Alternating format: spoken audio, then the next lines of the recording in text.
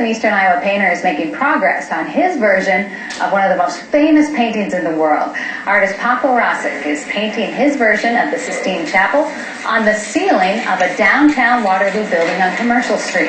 Rosic is turning the building into a gallery, coffee shop, and restaurant. Now, unlike Michelangelo's original, Rosic's piece will only take a couple of months to finish and involves aerosol paint, no brushes.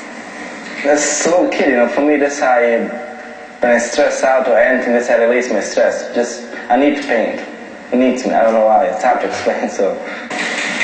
And we're glad you do. Rosic hopes to have the gallery and family business open by late September. It's amazing. He uses no brush. Just Mhm. this He's a really neat guy, too. I look forward to seeing It'll that. be great. It's amazing. It's really something. Let's show you how Sky Tracker 7 looks right now. The scattered